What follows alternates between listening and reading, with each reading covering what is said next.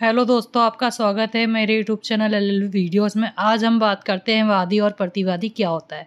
जैसा कि आप लोगों ने कोर्ट के मामलों में वादी और प्रतिवादी शब्द सुना ही होगा, या सुनने में आता ही है, जो कोर्ट से संबंधित होते हैं। वीडियो को एंड तक ज़रूर देखना। आज हम इसी के बारे में बात करेंगे, वादी और प्रतिवादी होता क्या है और इनमें क्या अंतर होता है। जैसा कि वादी को इंग्लिश में पिटिशनर और प्रतिवादी को रेस्पोडेंट कहा जाता है।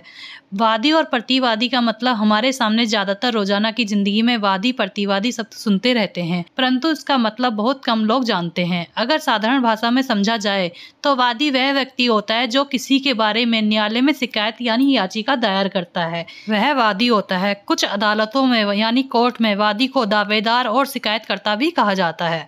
वादी द्वारा दायर शिकायत में आमतौर पर किसी अन्य व्यक्ति द्वारा किए गए कुछ गलत प्रतिबंधता के लिए निवारण या राहत की मांग करने वाली प्रार्थना होती है। यदि वादी अपने केस को सही साबित करने में सफल है तो फिर न्यायालय वादी के पक्ष में निर्णय देता है। प्रतिवादी क्या होता है? प्रतिवादी वह व्यक्ति होता है जिसके खिलाफ वादी द्वारा कार्यवाही की जाती है।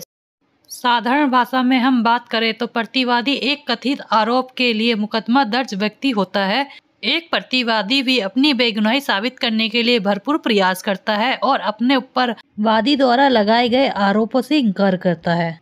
वादी को सबूत जुटाकर साबित करना होता है कि प्रतिवादी ने आरोप किए हैं। प्रतिवादी को भी अदालत में अपने आप को निर्दोष साबित करने का मौका दिया जाता है। अब जानते हैं वादी और प्रतिवादी में क्या अंतर होता है। एक वादी वह व्यक्ति होता है जो किसी अन्य व्यक्ति के विरुद्ध कानूनी कार्यवाही आरंभ करता है। प्रतिवादी वह व्यक्ति होता है जिस पर वादी द्वारा मुकदमा चलाया जाता है। आपराधिक मामलों में एक प्रतिवादी भी आरोपी के रूप में माना जाता है।